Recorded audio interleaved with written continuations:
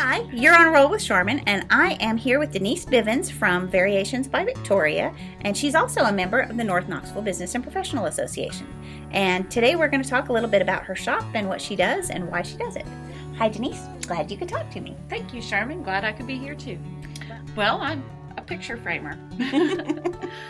and I frame anything. I've framed antique guns, I've framed christening gowns, of course, just normal artwork, and um, I love doing textile framing. I've, I've framed six foot by four foot blankets before, woven blankets before.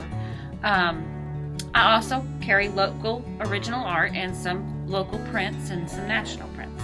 How is framing textiles different from framing, say, an oil painting?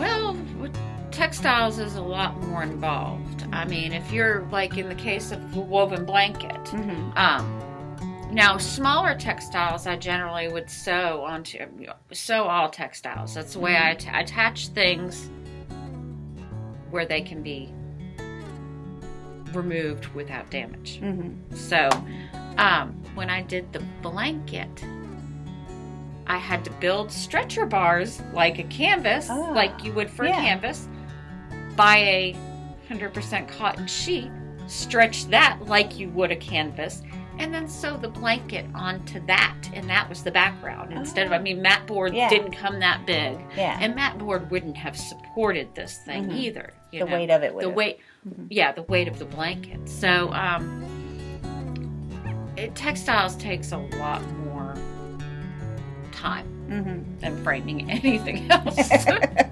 but it sounds fascinating. it is. It's fun. It's fun